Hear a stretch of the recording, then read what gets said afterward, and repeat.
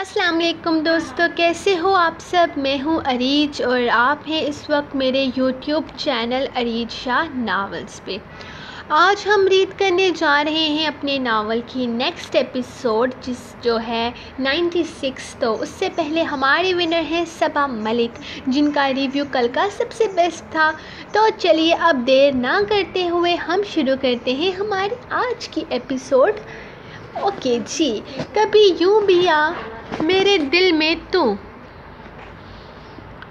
कभी यूँ भी आ मेरे दिल में तू। किस्त नंबर 96 तहरीर अरीज शाह। निशा के साथ इसकी मुलाकात तकरीबन साढ़े तीन माह पहले हुई थी। वो अपनी माँ को भूला नहीं था, क्योंकि इसके बाप ने कभी इसकी माँ की यादें इससे अलग नहीं किया था और ना ही इसका बाप ख़ुद कभी ज़ैनब की यादों से अलग हुआ था। वो आज भी ज़ैनब से मोहब्बत करता था। और इसकी एक मिसाल तो ये थी कि इतने साल गुज़र जाने के बावजूद भी जाइना कभी इसके दिल में ज़ैनब का मुकाम हासिल नहीं कर पाई थी। आज भी जब वो मोहब्बत का ज़िक्र करता था तो इसके लबों पर ज़ैनब का नाम आता था, क्योंकि ज़ैनब मोहब्बत के काबिल थी। इसका बाप इसे मोहब्बत कहकर पुकारता था। साइना ने बहुत गलत काम किए थे। इसने एक ख़ानदान को तबाह कर दिया था। एक शख्स को तबाह कर दिया था। ज़ैनब को मार दिया था, लेकिन फिर भी इसके बावजूद भी वो कभी वो चीज़ हासिल नहीं कर पाई थी जिसकी वो ख्वाहिशमंद थी। इसने अपने शोहर को ख़ुद से दूर कर दिया था। अपने बच्चे को खुद से दूर कर दिया था। लेकिन जिसके लिए इसने ये सब कुछ किया था, वो इसे हासिल नहीं कर पाई थी और इससे बड़ी भला इसकी क्या और नाकामी हो सकती थी? इस इंसान की मोहब्बत के लिए वो आज भी तड़प रही थी। पहले दौलत की लालच ने इसे अंधा कर दिया था और फिर अंधी मोहब्बत ने इसे बर्बाद कर दिया था। शायद ला हासिल चीज़ों के पीछे भागने का यही अंजाम होता है। वो आज भी तन तनहा थी। बिल्कुल पहले दिन की तरह। इसका लालच और ख़ुद गर्ज़ी इसे तनहा कर गई थी, लेकिन इसे एहसास आज भी ना हुआ था। तीन माह पहले निशा इसके कॉलेज में एडमिशन ले रही थी, जब इसकी इससे मुलाकात हुई थी। वो पहली नज़र में तो इसे देखते ही हैरान रह गया, क्योंकि इसकी शक्ल हो बहू इसकी माँ से मिलती थी। और ये बात इसने पहले ही दिन इसे बता दी थी। वो ख़ुद हैरान रह गई थी। इसकी माँ की तस्वीरें देखते हुए, यहाँ तक कि इसने ये बात अपने ख़ानदान में भी फैला दी थी कि किसी की शक्ल इससे इतनी मिलती है। ये महज एक इत्तेफाक ही था, वरना निशा के साथ इसका दूर दूर तक कोई ताल्लुक़ नहीं था। निशा का बाप तुर्की से था और माँ पाकिस्तान से, और इन्हें यहाँ शिफ्ट हुए बहुत कम वक्त हुआ था।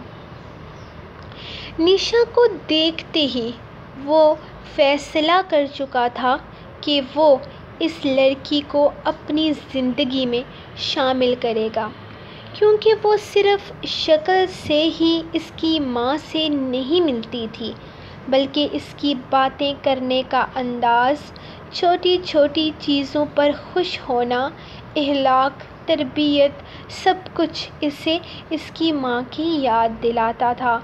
और इसे यकीन था, जिस तरह इसकी माँ इसके बाप के लिए एक बेहतरीन लाइफ पार्टनर थी, बिल्कुल इसी तरह वो इसके लिए एक बेहतरीन लाइफ पार्टनर साबित होगी। इसने बहुत सादगी से इसे प्रपोज़ किया था, जिसे इसने एक्सेप्ट कर लिया। इसके बाद दानियाल ने इससे कुछ भी छुपाया नहीं था। इसकी माँ इसके साथ क्या हुआ और इस साइना ने इसके साथ क्या क्या? किया। इसे सब कुछ बताया था और ये भी बताया था कि वो इस औरत को पागल कर देना चाहता है, जिसमें इसे इसकी मदद दरकार थी और वो इसकी मदद करने के लिए तैयार भी थी। और इसने वादा किया था कि जैसे ही वो और इस औरत का दोगला चेहरा अपने बाप के सामने ले आएगा, वो इसी दिन इससे निकाह कर लेगा और वो इसके वादे पर एतबार करती थी। बहुत बहुत मुबारक हो वारिक साहब। आपकी मिसिस माँ बनने वाली हैं और आप बाबा बनने वाले हैं। इनका बहुत ख़याल रखें। ये बहुत कमज़ोर हैं और कोशिश करें कि इन्हें किसी चीज़ की टेंशन ना हो। डॉक्टर इसकी तरफ़ देखते हुए बोली तो वो तो पहले डॉक्टर को और फिर इसे देखने लगा, जो सर झुकाए, मुस्कुराने में मसरूफ़ थी, जबकि इसका हाथ अपने आप ही मुँह में आ गया। वो दांतों से नाखून कुतरने में मसरूफ़ थी, जब वो इसका हाथ थाम कर इसे अपनी तरफ़ करता, बेयकीनी से इसे देख रहा था। तो इन चक्रों के पीछे की वजह ये थी, मिसिस। वो वापस घर जा रहे थे, जब गाड़ी में बैठते हुए इसे एक बार फिर से चक्कर आ गए। इस दफ़ा वारिक ने बिल्कुल भी देर ना करते हुए इसे हस्पताल पहुँचाया था। वो ना ना करती रह गई, जबकि वो इसे अस्पताल में लाकर इसका मुकम्मल चेकअप करवा रहा था, जिसके बाद ये खुशखबरी मिली थी। वारिक, इस तरह से ना देखें, मुझे शर्म आ रही है। अपने आप को इसकी नज़रों के हसार में महसूस करते हुए, इसके चेहरे को पीछे करती अपना चेहरा अपने हाथों में छुपा चुकी थी, जबकि डॉक्टर भी इसके अंदाज पर मुस्कुरा दी थी। अल्लाह आपको यूँ ही खुश आबाद रखे, लेकिन मेरी बातें ज़रा गौर से सुनिएगा। अब आपको शर्म से ज़्यादा एहतियात करनी पड़ेगी, मिसिस वारिक, क्योंकि आपका बेबी बिल्कुल भी हेल्दी नहीं है। आप अपनी डाइट का ख़ास ख्याल रखें। मैं आपको कुछ डाइट्स लिख कर देती हूँ। आप इन्हें फॉलो करें और टेंशन बिल्कुल भी नहीं लेनी। जैसा कि मैं आपको बता चुकी हूँ कि आपका बेबी अभी से ही कमज़ोर है। आपकी ज़रा सी बेएहतियाती आपको किसी बड़े नुकसान से दो चार कर सकती है।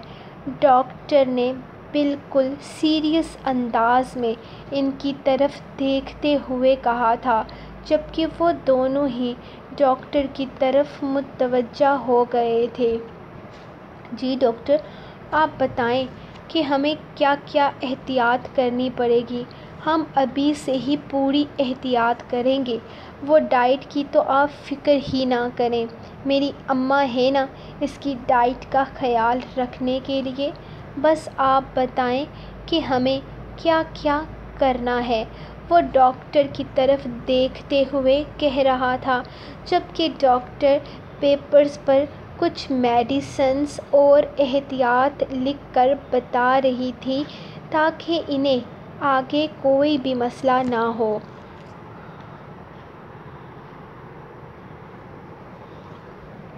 आप इनका ख्याल रखिएगा। हर वीक इनका चेकअप करवाने के लिए मेरे पास लाते रहिएगा। बाकी अल्लाह पाक बेहतर करने वाला है। इन कोई मसला नहीं होगा। वो पेपर इनकी तरफ़ बढ़ाते हुए बोली तो वो दोनों इसका शुक्रिया अदा करते हुए वहाँ से निकले थे। जबकि वारिक को तो जल्दी से जल्दी घर पहुँचना था, ताकि सबको ये खुशखबरी सुना सके। वो तो अभी से ही अपने बेबी को अपने हाथों में लेने के लिए बेचैन हो गया था। जबकि मायरा शर्माए जा रही थी और इसका ये शर्माया शर्माया सा रूप तो वारिक के दिल में उतर रहा था। इसे शर्माते हुए अपने साथ चलते देख इसने इसके गिर्द अपनी बाहों का हसार बनाकर इसे ज़ोर से अपने सीने में भींजा आई लव यू, मेरी जंगली बिल्ली। वो इसके लबों को शिद्दत से चूमते हुए बोला तो वो एक बार फिर से सर झुकाकर इसके मुँह में चेहरा, सीने में चेहरा छुपा गई। वो आज भी घर पर बिल्कुल तन्हा थी। वो आज भी घर पर बिल्कुल तन्हा थी। इसका इरादा कहीं बाहर जाने का था, लेकिन तबीयत इतनी बेजार हो गई थी कि कहीं बाहर जाने का दिल नहीं कर रहा था और ऊपर से इसके पास इसका फ़ोन भी नहीं था और ना ही क्रेडिट कार्ड था कि वो शॉपिंग के लिए निकल जाती। इसका इरादा इरफान से कहकर क्रेडिट कार्ड का इंतज़ाम करने का था। लेकिन ऐसा भी शायद नहीं हो सकता था, क्योंकि दानियाल ने हर चीज़ का इंतज़ाम किया हुआ था। यहाँ तक कि इस घर में इसके कपड़े तक नहीं थे। वो बड़ी मुश्किल से दानियाल के लाए तीन जोरों में गुजारा कर रही थी।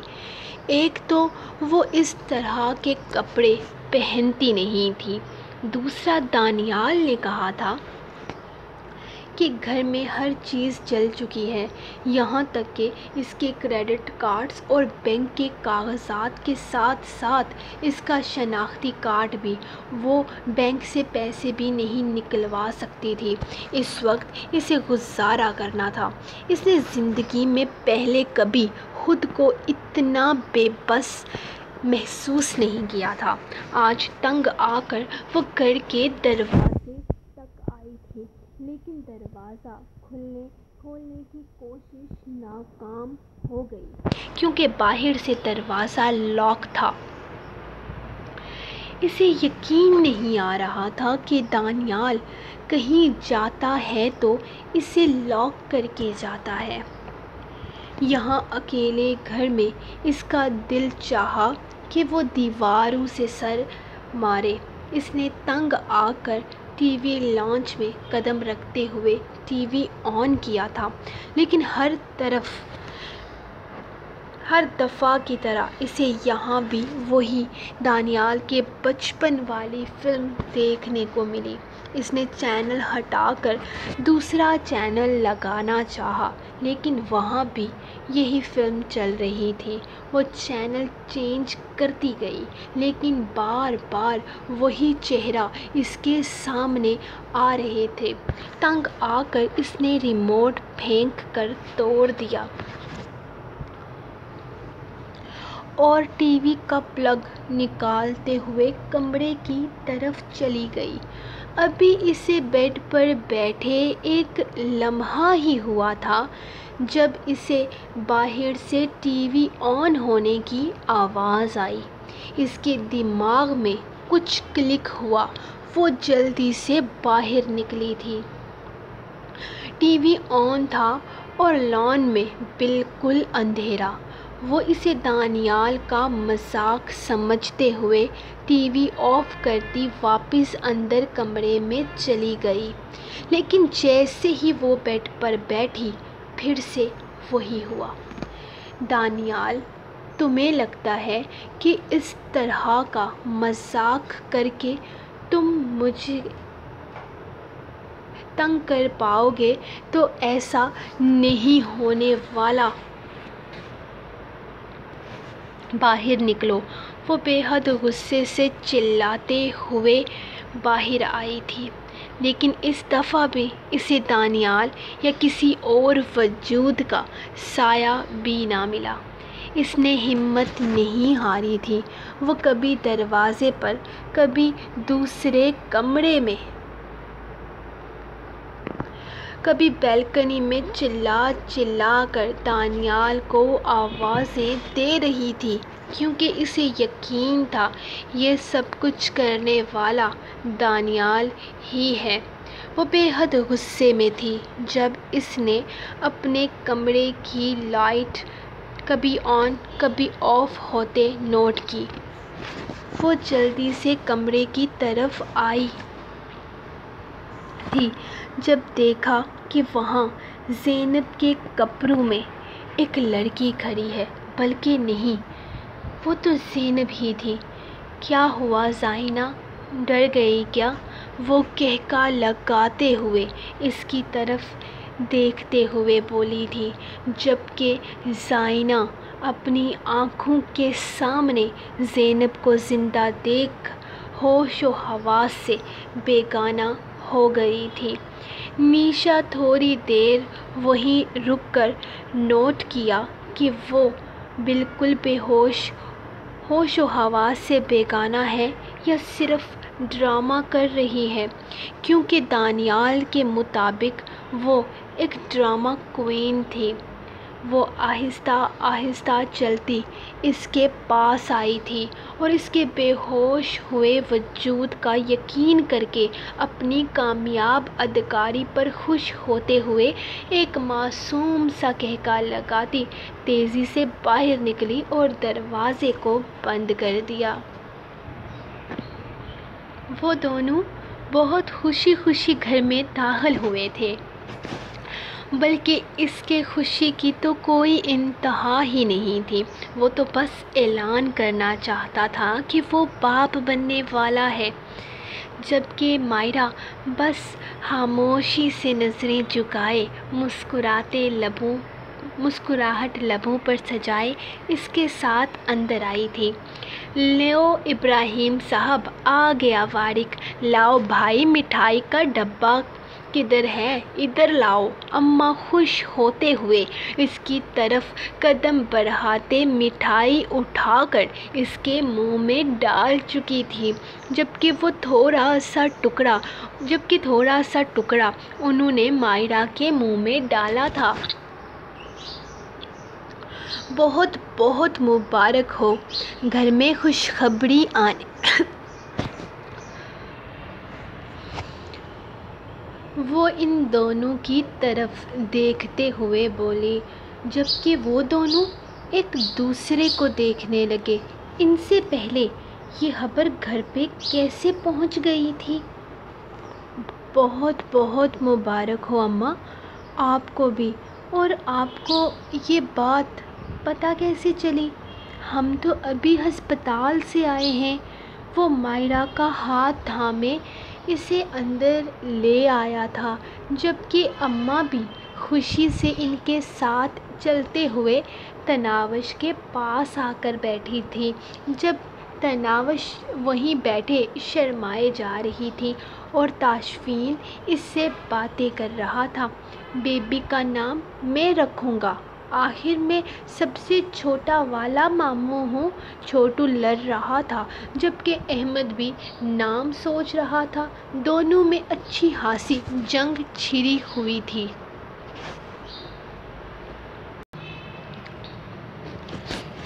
मामू नहीं छोटू, चाचू। तुम चाचू लगोगे ना बेबी के? वारिक ने इसकी बात की, दुरुस्तगी की थी। जब इसने मुँह बनाकर नफ़ी में सर हिलाया, मुझे इन गंदे वाले भैया का भाई नहीं बनना। मैं तो तनाशु आपी का भाई बनूँगा और इनका बेबी मेरा भांजा, वो खुशी से बता रहा था। जबकि असल झटका तो मायरा और वारिक को अब लगा था। क्या तनावश भी? मायरा तो खुशी से चीख उठी थी। जबकि सब हैरत से इसे देखने लगे थे। तनावश बी से तुम्हारी क्या मुराद है? तनावश ही तो प्रेग्नेंट है। ताशफीन ने इसकी तरफ़ देखते हुए कहा तो फिर से वो नज़रें झुका गई। जी नहीं जनाब, सिर्फ़ आप ही नहीं, बल्कि मैं भी बाबा बनने वाला हूँ। और मैं तो इसी बारे में बात कर रहा था कि हम अभी अस्पताल से आए हैं। वो अम्मा की तरफ़ देखते हुए बोला तो अम्मा की आँखों से खुशी के आँसू आ गए। इसके घर दो दो खुशियाँ एक साथ आई थी। उन्होंने उठकर मायरा को अपने साथ लगाते हुए इसके माथे को चूमा था, या अल्लाह, तेरा लाख लाख शुक्र है। मैं तो तेरी एक कर्म नवाजी पर शुक्र करते नहीं थक रही थी। वो मायरा को अपने साथ लगाती खुदा से मुहातिब थे। चलो बेगम, ऐसी बातों पर इमोशनल नहीं होते। खुशियाँ मनाते हैं। और तैयब बेटा, तुम एक नहीं, दो बकरों का ऑर्डर दो। हम दो बकरे सदका देंगे। बाबा ने फ़ौर ही मुलाजिम को कहा था, जो बकरे के लिए ऑर्डर देने जा रहा था। जबकि तनावश मायरा की फ़ाइल देख रही थी कि शायद इसे फ़ाइल पर कहीं से अपने भाई का बच्चा नज़र आ जाए। डॉक्टर ने कहा है कि मायरा को किसी बात की कोई टेंशन नहीं होनी चाहिए। इसका बेबी कमज़ोर है और हमें इसका बहुत ख़याल रखना है, ख़ासकर इसकी डाइट का। वो अम्मा की तरफ़ देखते हुए बोल रहा था हाँ तो कमज़ोर कैसे नहीं होगा? ये कुछ खाती पीती है? बस इसको अपनी बॉडी परफेक्ट रखनी है। इसकी बॉडी को तो मैं परफेक्ट करूँगी। अम्मा ने गुस्से से इसे घूरा था, जबकि वो समझ गई थी कि अभी से बहू से ज़्यादा पोता पोती इनके लिए अहम हो गए हैं। माशाल्लाह माशाल्लाह। घर में बहुत सारी खुशियाँ आ रही हैं। तो मैं सोच रही हूँ कि मैं कुछ दिन के लिए घर चली जाती हूँ। खाला, जो कब से खुद को इग्नोर होने पर कलस रही थी, आखिरकार बोल पड़ी, नहीं नहीं, आपा, आपको कहीं जाने की ज़रूरत नहीं है। दरअसल, कल कुछ लोग आ रहे हैं सद्दफ़ को देखने के लिए। बहुत अच्छा रिश्ता है। हमारे बिज़नेस पार्टनर्स होते हैं और इनका ताल्लुक़ मलेशिया से है। काफ़ी अमीर घराना है। शादी के बाद वो इसे भी अपने साथ मलेशिया ही ले जाएँगे। तस्वीर दिखाई थी इन्हें। काफ़ी पसंद आई है हमारी सदफ़ और माशाल्लाह से हमारी सदफ़ है भी तो इस काबिल। आप लोग इनसे मिल लीजिएगा। आखिर अगर रिश्ता मुनासिब लगे तो हम अपनी सदफ़ के भी हाथ पीले कर देंगे। इब्राहिम साहब ने मुस्कुराकर सदफ़ के सर पे हाथ रखा था। जबकि हाला तो मज़ीद कोई बात सुनना ही नहीं चाहती थी। बस इतना ही सुन लिया था कि बहुत अमीर घराना है और लड़के का ताल्लुक़ मलेशिया से है। बस और कुछ सुनना नहीं, सुनना था ही नहीं। इनके लिए बस इतना ही काफ़ी था। माई प्रिंसेस माई लव माई जान बाबा में शियो जल्दी आओ। वो इसके पेट पर अपने लब रखते हुए अपनी ही बोले जा रहा था, जबकि तनावश बस खामोशी से इसे सुन रही थी। कुछ ज़्यादा यकीन नहीं है कि अंदर प्रिंसेस बैठी है। प्रिंस भी तो हो सकता है ना? अंदाज लड़ाका था। बीच में मत बोलो, नज़र नहीं आ रहा। एक बाप अपनी बेटी से बात कर रहा है। ये इस तरह की डिस्टर्बेंस बिल्कुल भी पसंद नहीं है। थोड़ी देर में तुम्हारा वक्त आएगा तो तुमसे बातें करूँगा। फ़िलहाल मुझे मेरी बेटी से बातें करने दो। वो बीच में इस मुखालफत पर काफ़ी गुस्सा हुआ था। ताशफीन, आपके टिकट्स बुक नहीं हो सके। आज वो पता नहीं क्यों इसे याद करवा गई थी, जबकि वो एक नज़र इसके चेहरे को देखता दरवाज़े पर होने वाली दस्तक की तरफ़ मुतवज्जा हुआ था। बेटा, मैं ये दूध लेकर आई थी इसके लिए। ये दूध बहुत अच्छा है। वो अंदर दाखिल होते हुए इससे कहने लगी, जबकि ताशफीन ने एक नज़र गलास को फिर तनावश के बने हुए मुँह को देखा था। ये तो दूध नहीं पीती और कोई चांसेस भी नहीं है इसके दूध पीने के। वो परेशानी से कहने लगा था, इसकी माँ भी नहीं पीती थी। इसे भी डंडे के ज़ोर पर पिलाती थी, इसे भी पिला लूँगी। तुम फ़िक्र मत करो, पियो इसे तनावश। अम्मा ने गुस्से से इसकी तरफ़ देखते हुए कहा तो तनावश ने फ़ौरन गिलास थाम लिया। गुस्सा क्यों हो रही हैं? पी तो रही हूँ। वो मुँह बनाती गिलास लबों से लगा चुकी थी, जबकि इसकी हालत पर तराशफीन की हँसी निकल गई। रोज़ सोने से पहले एक गिलास दूध का पीना है और एक जाग कर। बाकी कल से जो जो चीज़ बच्चे के लिए अच्छी होगी तो वही खाएगी। खबरदार जो इधर उधर चीज़ों पर मुँह मारा। अम्मा ने, अम्मा इससे कह रही थी, ताई अम्मी, मैं सुबह दूध का गिलास नहीं पी सकती, सारा दिन बुरा गुजरेगा। वो बहुत मस्कीन सी शक्ल बनाकर बोली थी, क्या कहा तूने? अम्मा जो बाहर जाने लगी थी, गुस्से से इसकी तरफ़ मुड़ कर देखा। मैं कह रही हूँ कि मैं पी लूँगी। रोज़ सुबह शाम वो जल्दी से गिलास मुँह से लगाते हुए गटागट एक ही सांस में दूध पीती गिलास इन्हें वापस करने लगी थी, जबकि वो हाँ में सर हिलाती कमरे से निकल गई थी। और इनको जाने, और इनके जाने के बाद ताशफीन के ना रुकने वाले कह के का सिलसिला शुरू हो चुका था। क्या है? बहुत हँसी आ रही है आपको। हम वापस कब जा रहे हैं?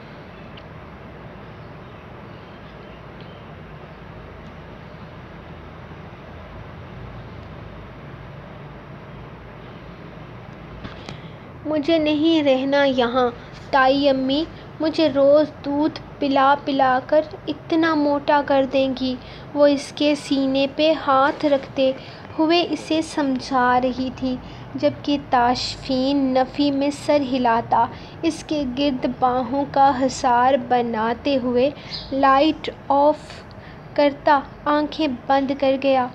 मतलब वो सोना चाहता था और इसके इस तरह से सोने पर वो खामोशी से आँखें बंद कर गई थी।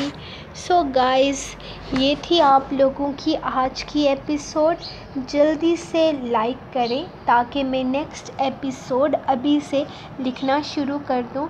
तो फिर रात को मैं टाइम पर देने की कोशिश करूँगी। मेरी टाइमिंग होगी इन ग्यारह से बारह के दरमियान, क्योंकि बीच में थोड़ी देर के लिए मुझे ताई अम्मी के घर जाना है क्योंकि मेरी जो कज़न है फेवरेट वाली कज़न वो आई हुई है तो मैं, जब वो अपने मायके आती है तो मैं उसके पास जाती हूँ। एक दो घंटे मेरे वहीं पर गुज़र जाएँगे तो इन मैं आपको मिलूँगी। रात को काफ़ी लेट लेकिन मैं एपिसोड अभी से ही लिखना शुरू कर दूँगी तो आप लोग भी जल्दी से इस वाली एपिसोड को लाइक कर दो, ताकि फिर मुझे भी थोड़ा जोश बढ़े और मैं ज़्यादा इसको लॉन्ग देने की कोशिश कर सकूँ। तो मिलेंगे हम नेक्स्ट एपिसोड में। तब तक के लिए आप इसको लाइक कर दो कमेंट कर दो शेयर कर दो। और वैसे थैंक यू सो मच कि आप लोगों ने काफ़ी कमेंट किए कल रात को, मुझे बड़ा मज़ा आया। कमेंट्स पढ़ते हुए। लेकिन बेस्ट कमेंट सबा मलिक का ही था, क्योंकि वो पूरा तबसरा करती हैं तो पढ़ते हुए भी मज़ा आता है और फिर वो उसको विनर अनाउंस करते हुए भी मज़ा आता है। वैसे नावल एंड की तरफ़ जा रहा है, सिर्फ़ चंद एक एपिसोड्स बाकी हैं इस नावल की। तो मेरे ख्याल में हमारी विनर दो लोग हैं, एक तो नहीं है, दो लोग हैं और मैं आपको बता दूँगी बाद में कि कौन है। वैसे सबको ही पता है कि कौन विनर है। तो मेरे ख्याल में अब मुझे चलना चाहिए ताकि मैं नेक्स्ट एपिसोड लिख सकूँ। तब तक ये अपलोड हो जाएगी। तो तब तक के लिए अपनी राइड को दें इजाज़त और दुआ में याद रखें। हाफिज़।